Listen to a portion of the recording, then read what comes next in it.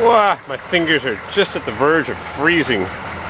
So, Turbo Weasel, Turbo Diesel, Turbo Weasel, gets a new Walmart 99 cent plug.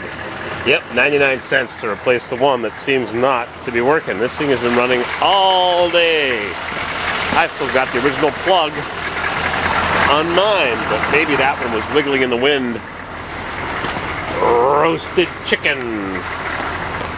See what this thing looks like inside the house. It's too cold to stay outside. Temperature is a balmy 10 degrees, minus 12 Celsius.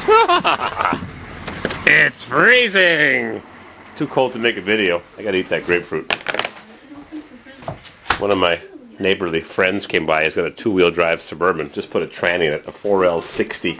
$3,200. He brought by a 60 Corvair. How do you like that? Just like what my mother, just like what my mother used to have. She sold it in '68 when I was seven years old. Yeah, 60 Corvair, two-wheel drive Suburban, new trans.